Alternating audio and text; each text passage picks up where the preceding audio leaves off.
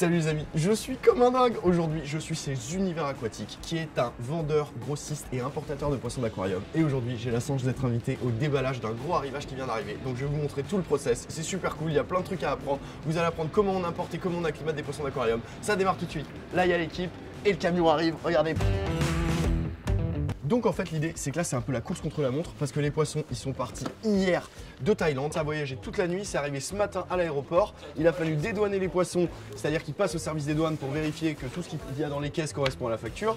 Et ensuite il faut faire appel à un transitaire qui est une personne en fait qui est habilitée à récupérer les poissons à l'aéroport pour ensuite les amener chez ici Univers Aquatique, chez le grossiste. Vous voyez, ils sont bien au taquet parce que même si les poissons ils sont emballés sous oxygène, et ben, ça fait quand même un bout de temps qu'ils voyagent. Donc là, il faut pas perdre de temps. Et regardez, ma compagnie aérienne préférée, Thai Airways, je t'aime.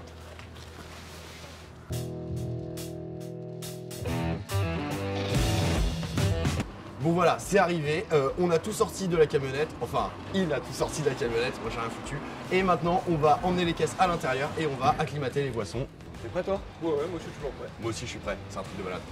Après avoir filmé les fermes d'élevage en Thaïlande, j'avais envie de continuer dans le process d'importation et d'exportation des poissons d'aquarium. Donc je remercie énormément Gaëtan ici qui m'accueille. Gaëtan c'est un de mes potes, il est dans le poisson d'aquarium depuis qu'il a 9 bah, ans en fait je crois. Il a toujours reproduit plein d'espèces et tout. Et aujourd'hui c'est devenu bah, son métier. Donc il a euh, une entreprise qui a plusieurs entités et dont une entité qui importe des poissons d'aquarium. Et c'est un immense kiff de pouvoir venir ici aujourd'hui et de vous montrer tout ça parce que vous allez voir c'est trop cool et comme c'est mon pote, on est un peu à la maison donc vous allez kiffer. Venez voir.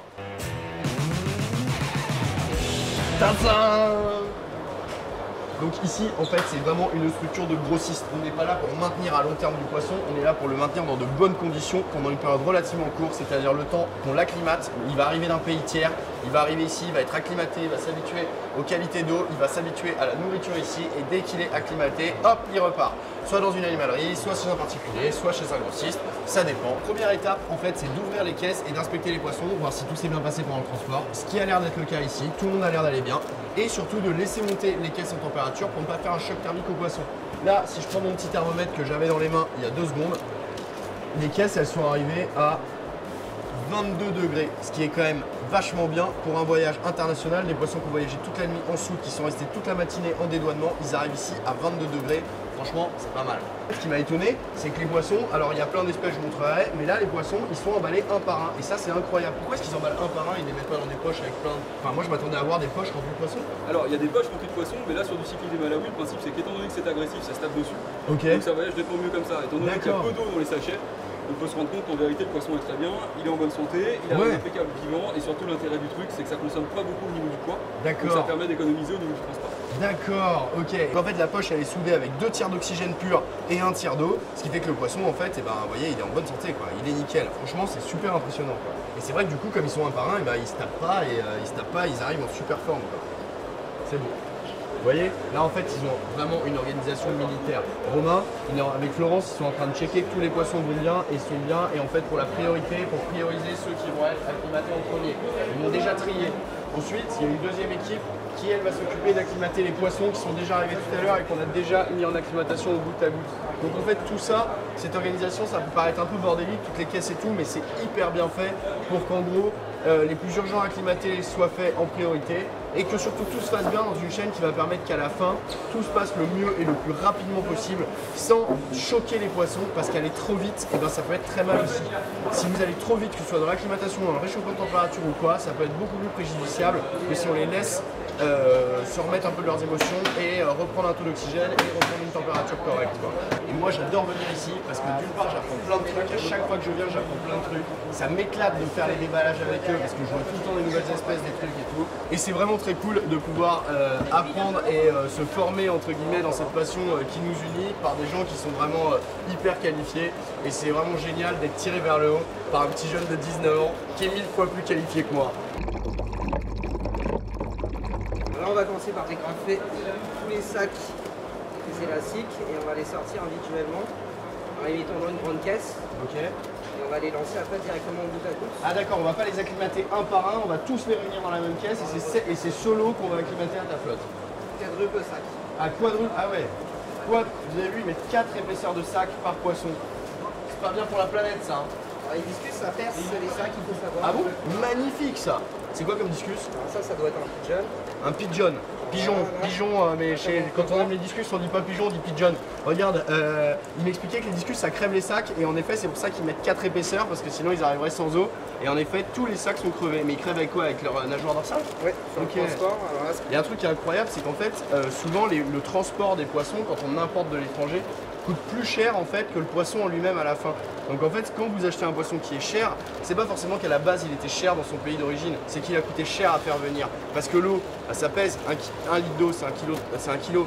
Et aujourd'hui, le fret aérien, c'est hyper cher. C'est pour ça aussi qu'ils mettent pas beaucoup d'eau dans les poches, parce que ce qui pèse, eh ben, on le paye en transport. Et donc c'est pour ça qu'en fait, un poisson qui va voyager de Bangkok à Paris aura plus d'eau et d'oxygène qu'un poisson qui, par exemple, va voyager de Bangkok à Shanghai. Parce que pour un petit trajet, il sera pas emballé pareil. Donc il calcule tout en amont. Combien de temps il va passer dans la caisse, combien de temps il y a machin, une petite marge de sécu pour être sûr que s'il y a un petit problème, il se passe rien. Et à la fin, eh ben, le discus il arrive dans, son sac, mais ce sac il pèse. Donc la caisse, eh ben, ça coûte une blinde à importer. Et c'est pour ça qu'il y a plein de poissons qui coûtent cher après en magasin.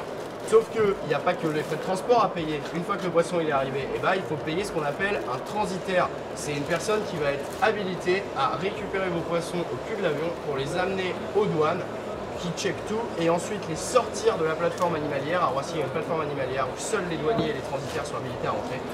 Et ensuite, une fois qu'il a fait tous les papiers, tous les papiers, et ben, il vous livre votre, euh, votre, comment dirais-je, votre commande. Sauf que le transitaire, bah, c'est pas gratos, donc c'est un gros billet. Je peux vous dire juste, hein, pour un arrivage comme ça, un transitaire, c'est plusieurs milliers d'euros, juste pour aller récupérer les poissons à Roissy, les passer aux douanes et les amener ici. Donc vous voyez, l'importation de poissons d'aquarium, ça sucre. Donc là, on a des discus euh, presque adultes qui sont arrivés, qui sont superbes. Viens voir, viens voir, viens voir. On va éteindre la lumière de la caméra pour pas les stresser. Je vous en montre un vite fait et après on les emmène à l'acclimatation tout de suite. Regardez comme ils sont beaux ces poissons. Superbe. Superbe. Regardez tous les combattants Ça vous rappelle pas ma vidéo sur les fermes d'élevage Avec la machine qui emballait les combattants, on retrouve les petits berlingots. Et ce qui est marrant, c'est que là, il a reçu plein de combattants dans un arrivage, mais je peux vous déjà vous dire qu'en amont, à Bangkok, en Thaïlande, ils viennent de, de plusieurs éleveurs différents, parce que regardez, ils ne les emballent pas de la même manière. Mais c'est toujours pareil, un petit packaging. Pourquoi la flotte elle est bleue? Tu le sais déjà, je t'ai déjà expliqué dans mes vidéos. Parce que dedans ils mettent un anti-stress. On a des jolis petits butterflies comme ça qui sont des nageoires euh, très développées et tout, qui sont assez jolis. Bref, on a quand même un joli échantillon et je dois vous avouer que regardez, je suis transparent total avec vous. Là j'ai euh, environ 150 combattants devant moi qui sont arrivés, et ben ils sont 100 les 150 vivants, il n'y a pas un seul mort. Donc vous voyez, ils se sont tapés un trajet sur toute la planète, mais aujourd'hui on sait emballer les poissons et on prend soin des animaux de façon à ce que la mortalité soit la plus basse possible. Et bah la preuve par l'image, hein. regardez, ça meurt pas.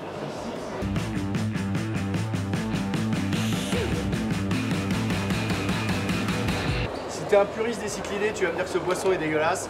Mais moi, je dois dire que les Olonokara de sélection, ils ont quand même des couleurs de dingue. Et ça fait quand même des très jolis poissons. À la base, il y a bien longtemps, avant d'être sélectionné, il venait du, lac Malawi, l'Olonokara. Et euh, dans ma vidéo sur les vlogs des fermes en Thaïlande, on a visité une ferme d'élevage euh, de Malawi et de l'Olonokara. C'était bien cool. Et du coup, je trouve ça trop cool de les avoir vus là-bas à l'élevage et maintenant de les recevoir ici et de vous montrer tout le process jusqu'à la fin. C'est trop cool. Et ça, il fait un essai parce que c'est beau. Et vous voyez, Gaëtan il arrive à rester super zen, alors que tu le voyais, c'est quand même son business, c'est son investissement, c'est ses poissons. Moi je sais que j'aurai un peu la pression et tout, mais de me dire mais ils vont bien, ils vont bien, ils vont bien. Et il reste super zen, il est très calme, ils font tout vraiment dans un ordre méthodique pour ne vraiment pas, euh, voilà, pour respecter vraiment le process et que ça se passe le mieux possible. Et c'est vrai que c'est pas la première fois que je fais des arrivages chez lui, parce que j'en souvent lui filer des coups de main. Et c'est vrai que ça me fait halluciner l'organisation à la fois militaire et ultra calme qu'il arrive à opérer.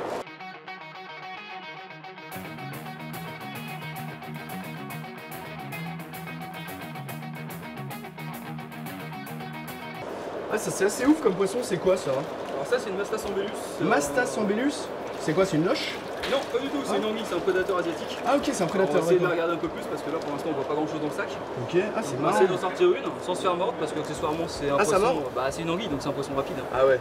Et ça peut devenir très gros, ça fait entre 45 et 50 cm. Ah ouais, mais alors attends, quand t'as ça dans ton aquarium, tu mets pas de, tu, tu mets que des poissons de la même taille. Tu mets pas- Exactement, c'est pour faire des, des aquariums de prédateurs ou des aquariums un peu décoratifs, euh, ça, ça passe très très bien. Euh, ça fait combien ça vaut?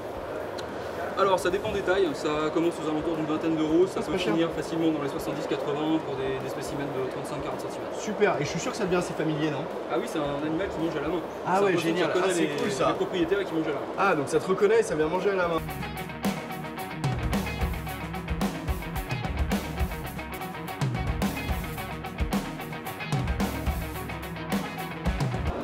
Ah, mais ça, c'est des arowanas, ça. Pas tout à fait, similaire, c'est le faux arwana. Le faux Le stéropa C'est un arowana fake. C'est un fake, c'est une copie. Le D'accord. Stéropa jardini. Ah, ah, d'accord, c'est pas un ostéoglossum, c'est un sclérophage. Sclérophage. Alors, quelle est la différence entre Sclérophage. un ostéoglossum et un sclérophage Ah, mais ça, c'est une bonne question. Et ben voilà. Quelle est la différence entre un ostéoglossum et un sclérophage L'ostéoglossum vient d'Amérique du Sud et sclérophage il vient d'Asie. Ok, tout simplement. Incroyable. C'est joli, hein Et en plus, les couleurs, elles vont se rehausser un peu là, c'est parce qu'ils sont Ouais, stressés. hein. après ils sont stressés avec le temps, la nourriture, ça peut changer de couleur, on peut avoir quelques en fer rouge, ça varie dans les nourris. Et ça, c'est un poisson qui devient énorme. hein. Ça peut faire quoi Plus d'un mètre hein. Euh, non, quand même pas, un peu plus petit. Bon, j'ai tout faux, un peu plus petit, 80 cm. Et euh, mais ça devient quand même énorme. Tout ça, c'est fait pour, euh, tout ça, c'est vraiment fait pour des bacs. Euh, je m'amuse avec le micro parce que je m'en sers comme interview, tu vois.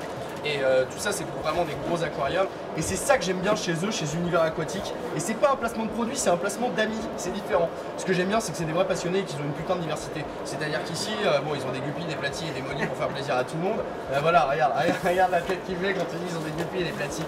Mais ils ont aussi plein de poissons hyper chelous et surtout très rares qu'on voit très rarement sur le marché français. Donc c'est vrai que la première fois que je suis venu ici, je me suis dit, Ah, mais putain, on dirait un mini Bangkok. C'est un peu pareil, il y a plein de trucs ici, c'est cool. Regardez comme les caisses elles sont bien organisées. Regardez. Regardez, chaque petit poisson arrive emballé. Ça, ce sont des chaufferettes hein, pour garder la température. Et vous voyez, chaque poisson a été emballé individuellement et voyage dans des bonnes conditions. Et je vais vous dire la vérité, ça fait maintenant 30 minutes qu'on déballe et j'ai toujours pas trouvé un mort. Là en fait il recompte, il est en train de recompter ses boissons parce que forcément sur sa facture il a un nombre de boissons et donc en fait il doit tout recompter pour être sûr que ça correspond bien. Et, et donc là ça va parce que c'est des très très hauts dons. T'en as combien là? J'en sais rien, pour l'instant j'en ai 18. Sur la facture t'en avais combien? 90. Voilà, il est censé en avoir 90, donc il va checker qu'ils sont là. Donc ça, ça va. Mais dernier arrivage, il m'a fait compter 967 guppies un par un, quoi. Attends compter les 5000 crevettes. voilà, il y a 5000 crevettes qui sont arrivées. Et apparemment, il m'a gardé, il m'a fait un petit cadeau, il a gardé ça pour moi. T'as le cœur sur la main, mec. hein, Franchement, merci. Vous voyez, il check, il a beau mettre les poissons tous en même temps à l'épuisette, il regarde un par un les trucs, et dès qu'il y en a un qui va pas, soit il le met de côté pour l'infirmerie, soit il l'ausculte, mais c'est pas on prend les poissons, on jette et on verra plus tard quoi. À chaque fois, il les regarde tous un par un. Les 6000, il doit y avoir combien de poissons qui sont arrivés aujourd'hui? Voilà. En tout, là, dans l'arrivage, il y a entre 8 et 9000 poissons, crevettes incluses, je peux vous garantir que ce soir, enfin demain matin, quand il va aller se coucher, eh ben, chaque animal dans le- l'envoi aura été vu par euh, Gaëtan. Il les check tous un par un. Et j'avoue, la première fois que j'ai fait un déballage, j'y croyais pas. Je disais, mais c'est pas possible, tu vas pas checker les bestioles une par une. Et il me disait, si, il les check une par une. Donc euh, c'est long. C'est pour ça que c'est long. C'est pour ça que c'est long, mais bon, en même temps, je comprends totalement.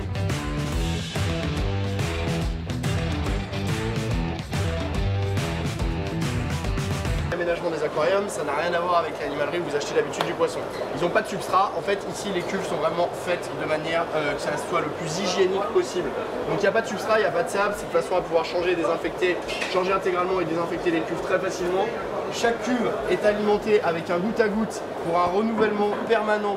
En fait, il y a toujours une goutte qui arrive dans le- dans l'eau par ces petits tuyaux et il y a toujours une goutte qui repart en trop plein. Donc en fait il y a un changement d'eau permanent de façon à garder une bonne qualité d'eau.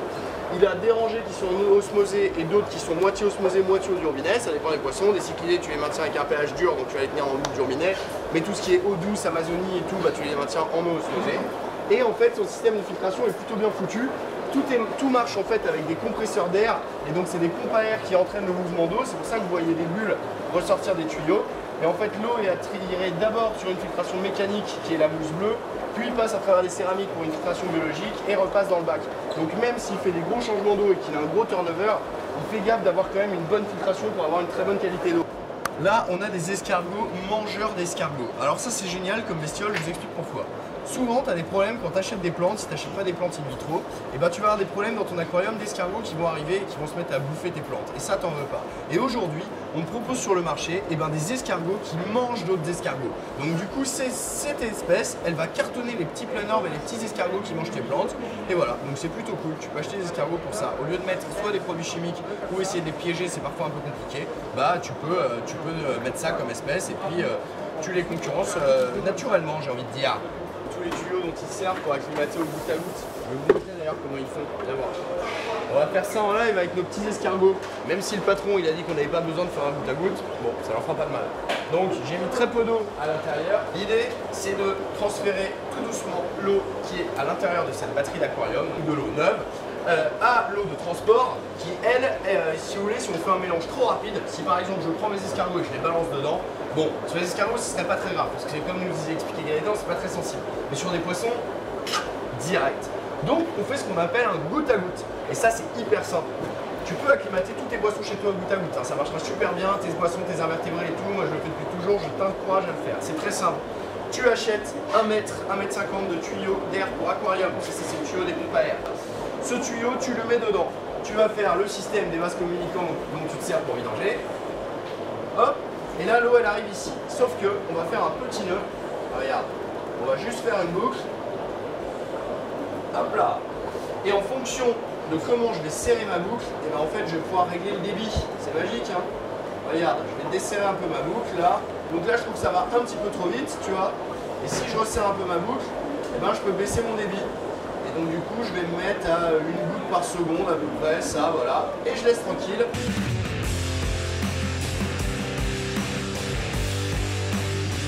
On vient de finir la journée, je suis rincé, on a acclimaté 9000 poissons. C'est un job de malade, tu fais ça toutes les semaines? Bon, tous les 15 jours, 3 semaines, mais là j'ai envie de te dire que c'est un peu calme, hein, parce que la Colombie, des fois, c'est 8h, 9h, 10h du matin.